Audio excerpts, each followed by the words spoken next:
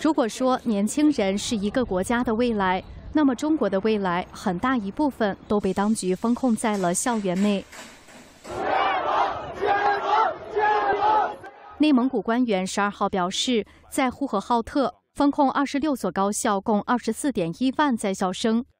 山西运城早在九号宣布封控全市六十三所学校的在校师生。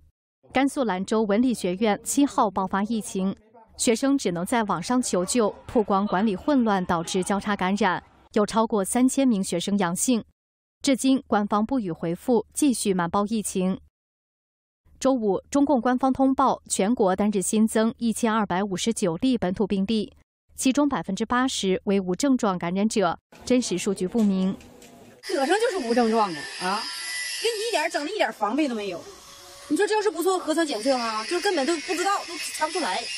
而且人家查出来之后，你马上就得拉医院去，就得就得治疗去，要不然过两天他该好了，该好了。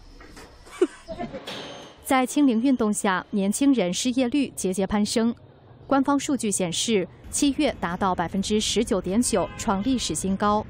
如今，中共为了保二十大，各地升级风控维稳，继续加剧失业率和中小企业的困境。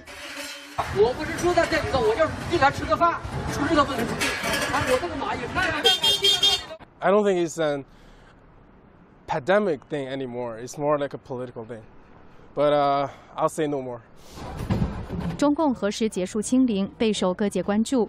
身在防火墙内的不少民众还在指望二十大后能松绑，但境外许多投资公司和专家已经预测，至少要到二零二三年三月的两大结束后，并且还不确定。